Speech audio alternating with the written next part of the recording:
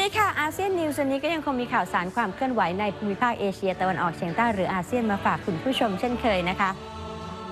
วันนี้ไปเริ่มกันที่บรรยากาศก่อนการเลือกตั้งทั่วไปของเมียนมา ล่าสุดผู้แทนยุโรปได้เดินทางไปถึงเมียนมาแล้ว เพื่อไปสังเกตการณ์การเตรียมความพร้อมก่อนการเลือกตั้ง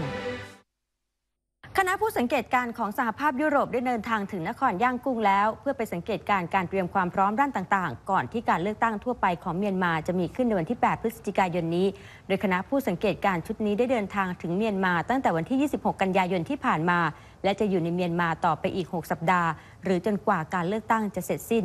ระหว่างนี้พวกเขาจะตระเวนเยือนพื้นที่ต่างๆ ทั้ง 14 รัฐ พื่อตรวจดูความเรียบร้อยทั่วไป ซึ่งจะช่วยในการยืนยันความโปร่งใส และความบริสุทธิ์ยุติธรรมของการเลือกตั้งที่จะมีขึ้นด้วย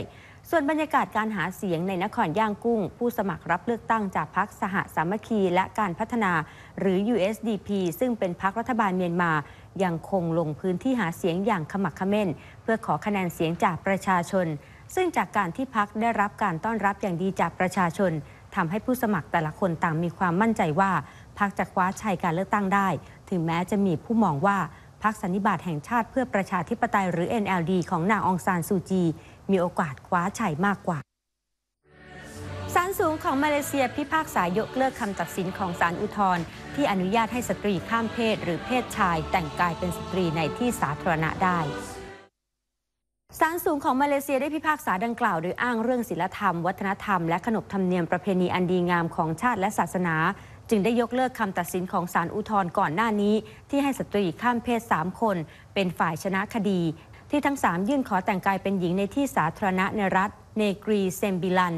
ซึ่งถือเป็นคำตัดสินที่สร้างความผิดหวังแก่องค์กรสิทธิมนุษยชน ทั้งนี้กฎหมายอิสลามระดับรัฐในมาเลเซียระบุความผิดของชายมุสลิมที่แต่งกาย หรือแสดงท่าทางเป็นหญิง มีโทษจำคุกสูงสุด 3 ปี และบางรัฐยังมีกฎหมายห้ามสตรีแต่งกายเป็นชายด้วย ส่วนคนกลุ่มนี้ในสังคมมาเลเซียถือว่ายังถูกกีดกันอยู่หลายด้านทำให้ไม่สามารถเข้าถึงบริการสาธารณสุขตำแหน่งงานและการศึกษาได้อย่างเต็มที่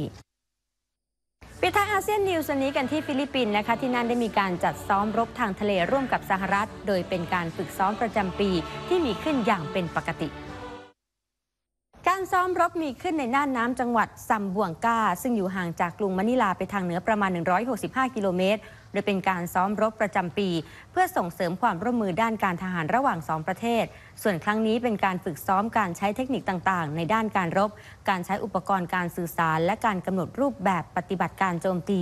การซ้อมรบมีขึ้นตามข้อตกลงขยายความร่วมมือด้านกลาโหม ระหว่างฟิลิปปินส์กับสหรัฐนาน 10 ปี ที่ลงนามกันไว้เมื่อปีที่แล้ว โดยเป็นการลงนามความร่วมมือในช่วงเวลาที่ฟิลิปปินส์เผชิญปัญหาด้านความมั่นคงในน่านน้ำทะเลจีนใต้ ซึ่งเป็นน่านน้ำพิพาทกับหลายชาติและจีน จนทำให้สหรัฐประกาศจะส่งเรือและเครื่องบินลาดตระเวนในพื้นที่พิพาทสร้างความไม่พอใจแก่จีนเป็นอย่างมาก หมดเวลาของอาเซียนนิวส์ในวันนี้แล้วนะคะ แล้วกลับมาพบกันใหม่ในวันพรุ่งนี้สำหรับวันนี้ดิฉันอภิรมย์ปีเตอร์สันต้องลาไปก่อน สวัสดีค่ะ